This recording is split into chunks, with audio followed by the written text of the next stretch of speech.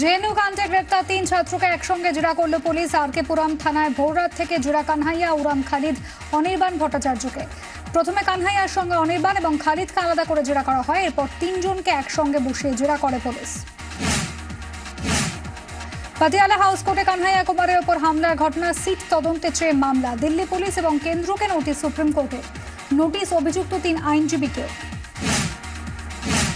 আফজাল গুরু শান্তি বিতর্কিত মন্তব্যের জের চিদাম্বরমের বিরুদ্ধে লোকসভায় নোটিশ দিলেন বিজেপি সাংসদ অনুরাগ ঠাকুর। তবে দম্বার পাত্র নন চিদম্বরম, টুইটে সরব তিনি। কানহাইয়া জেলে আর হামলাকারীরা, বেলে কেন?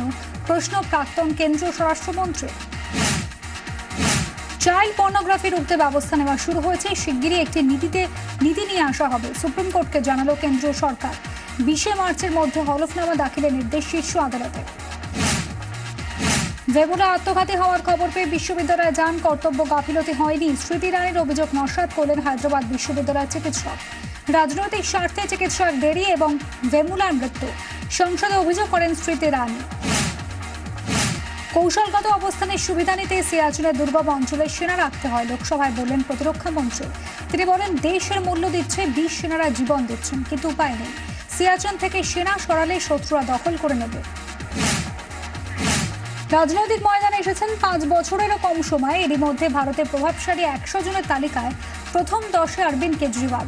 দিল্লির মুখ্যমন্ত্রী রয়েছেন অষ্টম স্থানে। প্রথম স্থানে প্রধানমন্ত্রী নরেন্দ্র মোদী। রাহুল গান্ধী নবম স্থানে। খাস কলকাতার সরকারি হাসপাতাল চত্বরে অস্বাভাবিক মৃত্যু তরুণী। সকালে এনআরএস হাসপাতালের পুকুর থেকে উদ্ধার হয় দেহ। মৃত প্রিয়াঙ্কা হাসপাতালেরই এক কর্মীর মেয়ে। উচ্চ মাধ্যমিক চলাকালীন পরীক্ষা কেন্দ্রে বোমাবাজি। হালি শহরের জেঠিয়া স্কুলের শৌচালয়ে বোমা ফেলল দুষ্কৃতীরা। অভিযোগ টোকাটুকিতে যাতে শিক্ষকরা বাধা হয়ে না দাঁড়ান, তাদের ভয় দেখাতেই কাণ্ড। মুম্বাই মেক ইন ইন্ডিয়ার মঞ্চে আগুনের ঘটনা। ইভেন্ট ম্যানেজমেন্ট কোম্পানি বিস ক্রাফটের বিরুদ্ধে অভিযোগ দায়ের আয়োজকদের এফআইআরে গাফিলতির অভিযোগ, চোদ্দই ফেব্রুয়ারি আগুনে পুড়ে যায় মেক ইন ইন্ডিয়ার মঞ্চ। সেনাবাহিনী তৎপরতায় প্রাণ বেঁচেছে ছেলে, তবু হামলাকারী লস্কর জঙ্গিদের প্রশংসায় পঞ্চমুখ হিজবুল প্রধান সঈদ সালাউদ্দিন। পাম্পরে হামলাকারীদের বীরের মর্যাদা দিয়েছেন তিনি।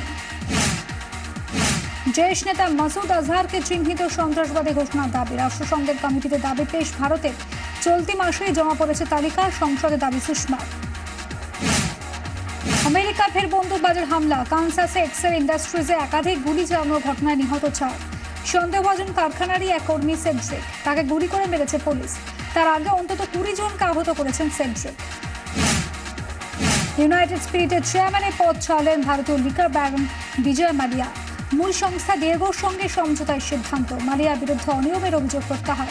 দেওয়া হবে সাড়ে সাত কোটি ডলার ক্ষতিপূরণ। নির্জা ছবিটি দেখার জন্য মালালা ইউসুফ জাইকে ধন্যবাদ জানালেন সোনাম কাপুর। ছবিটিতে হাইজ্যাক হওয়া একটি বিমানে নিজের জীবন বিপন্ন করে যাত্রীদের প্রাণ বাঁচান এয়ার হোস্টেস নির্জা নাম ভূমিকা অভিনয় করেছেন সোনাম কাপুর।